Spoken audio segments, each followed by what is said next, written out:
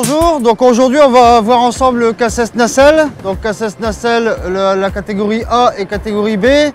Mais avant tout, il faut vérifier le- l'environnement, l'environnement au sol, l'environnement aérien.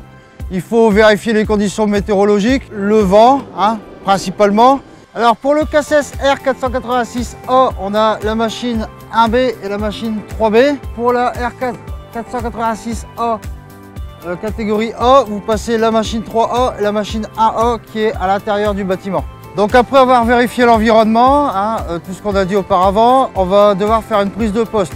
Alors pour faire la prise de poste, il faut récupérer les clés de la machine, la notice d'utilisation dans la langue du pays, contrôle technique, la VGP, vérification générale périodique, une déclaration à un certificat de conformité de, la machine, la bac constructeur, on a le carnet de maintenance pour noter tous les anomalies à constater pendant le poste.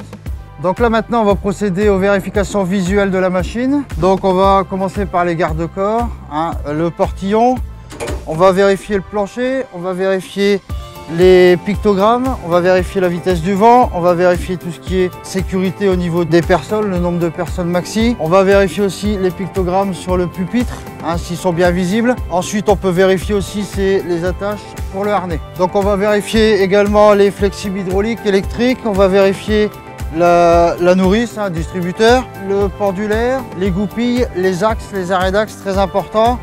On va vérifier aussi le vérin scié sec, vérifier les bras, hein, vérifier encore les goupilles, les axes, les arrêts d'axe. Donc on continue en vérifiant le châssis, les pneumatiques, c'est des pneus pleins, donc euh, pas de problème de crevaison. Les réducteurs s'il n'y a pas de fuite apparente, vérifier le châssis en dessous. On va vérifier aussi s'il n'y a pas de sointement d'huile, d'eau ou quoi que ce soit en dessous de la machine. Ensuite, on va vérifier le pupitre euh, poste bas. Donc, on va pouvoir vérifier aussi le distributeur ici. On va vérifier les pictogrammes là. On va vérifier le gasoil, très important aussi. Vérifier l'huile hydraulique, niveau mini maxi. Et vérifier s'il n'y a pas de sointement d'huile, de projection d'huile, de gasoil ou quoi que ce soit sur le, carter. Donc on continue sur l'avant de la machine, hein, sur les tringleries de direction. On, va vérifier aussi les essieux, les vérins d'essieu oscillants, les moteurs hydrauliques, les flexibles hydrauliques s'il n'y a pas de fuite apparente.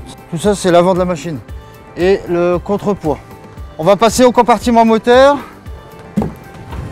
Donc ici, on a le liquide de refroidissement. On va vérifier aussi le- l'huile moteur avec le remplissage d'huile moteur. Euh, S'il n'y a pas de fuite apparente au niveau de la pompe hydraulique. La pompe électrique de dépannage qui fonctionne avec la batterie. hein, la batterie de démarrage. Vérifier aussi s'il n'y a pas de, de projection d'huile, d'eau ou quoi que ce soit sur le carter. On ne sait jamais s'il y a une fuite.